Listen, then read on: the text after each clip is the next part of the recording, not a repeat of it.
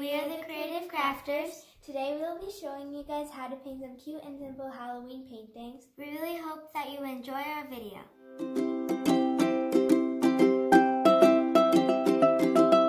Sorry for not posting for a while. We were a bit busy, but we'll post more often now. Now, let's, let's get, get started. started. The materials you're going to need are A canvas sheet of paper or acrylic paper, acrylic paints, paintbrushes, water, paper towels, a paint palette or paper plate. and a pencil and eraser. Both are doing two different designs. I'm doing Frankenstein. and I'm doing a mummy. You can use the pencil and eraser for any step so you can draw it out, then actually paint in the lines. Start by getting your paint color for the background. We are doing green, but you could do any colors that you want.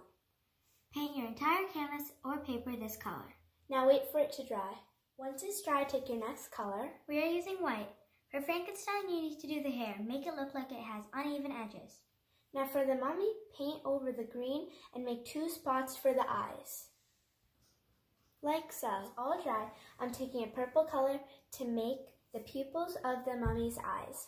I'm doing white for the eyes and then black for the pupils. Now if you're doing the mummy, it is time for the wrap. Use white and go over the green and even a little bit on the eyes, but leave a rhombus shape in the middle.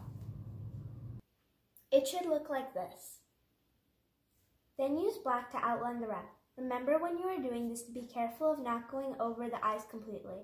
You should be able to make the effect of eyes peeking For through. Frankenstein, we have to do the mouth now. Use black and make a squiggly line for the mouth. Like this.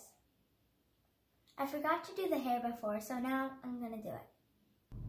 This is what I did for the hair.